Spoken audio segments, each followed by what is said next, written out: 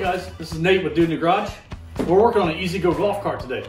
So the splines on these hubs strip out. So the axle's actually splined and then the hub fits over those splines. Well, what happens is those splines wear off of there and then the axle could slip inside, just like you just seen. So we're gonna fix that today and I'm gonna show you how. All right, so here is the new hub. It actually has a brake drum made into it. And if you look down in here, those are the splines that I was talking about. And those are what wear out because this is cast iron and it is softer than the steel shaft. So it causes these to wear completely off. So let's get it changed out. All right, so I've got the jack underneath of the axle and that's gonna be a very secure place. You don't want this falling off of here. And so I'm gonna tighten the jack up and I'm just gonna raise that wheel off the ground, like so. All right, jack handle up because you don't want it laying flat, someone can trip over. Don't want that to happen. Then we're gonna grab our 19 millimeter, 19 millimeter impact socket, our impact gun. And we're gonna go ahead and zip this wheel off here.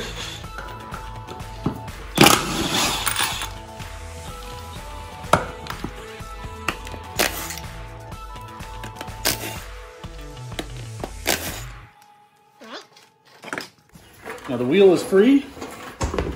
And here's that old hub and drum. And as you can see, it's not supposed to spin on there like that. This is actually completely worn through. So we'll take this pin out, take this castle nut off, and we're gonna pull this whole thing free.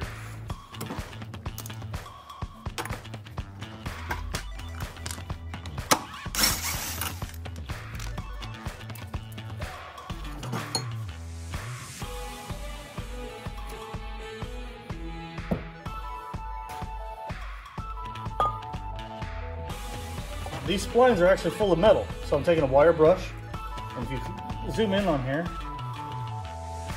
and watch the splines. Look at that, that is just metal.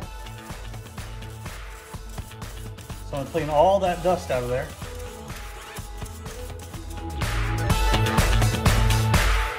Also you get these little picks from uh, Harbor Freight.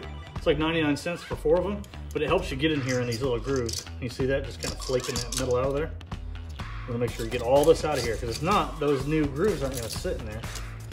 And you're gonna just have the same problem all over again. All right guys, so actually these are shims.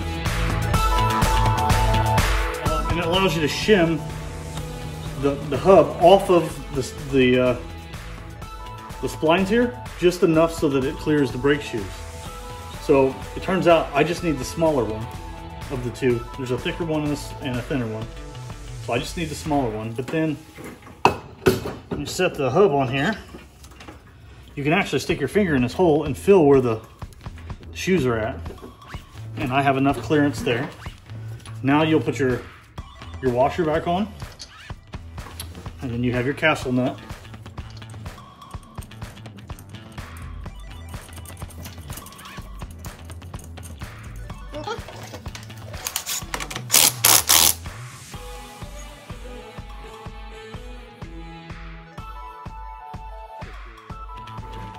Cotter pin in there.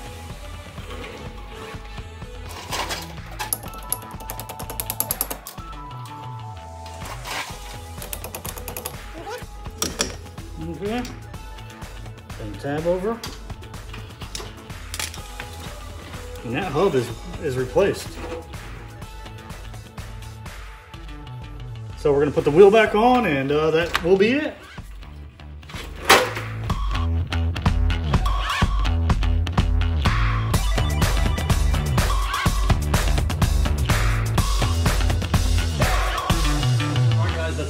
To it. Easy peasy lemon squeezy.